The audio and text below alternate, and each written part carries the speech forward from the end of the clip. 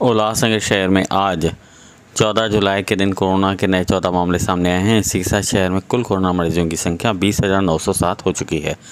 वहीं आज छः लोगों को डिस्चार्ज दिया गया है। इसी के साथ अब तक कोरोना मुक्त लोगों की संख्या बीस हज़ार दो सौ इकहत्तर हो चुकी है। कोरोना की वजह से अब तक पाँच सौ तैंतीस लोग अपनी जान गंवा चुके हैं। इस समय शहर के 103 मरीज़ एक्टिव हैं, जिनमें से कोविड केयर सेंटर में छः डेडिकेटेड कोविड हेल्थ सेंटर में बीस डेडिकेटेड कोविड अस्पताल में पाँच, होम आइसोलेशन में बासठ व उलासा उनपा क्षेत्र के बाहर दस लोगों का इलाज चल रहा है। आज जिन नए चौदह मामलों की जानकारी हमें मिली है। उनमें कैंप नंबर एक से तीन मामले हैं।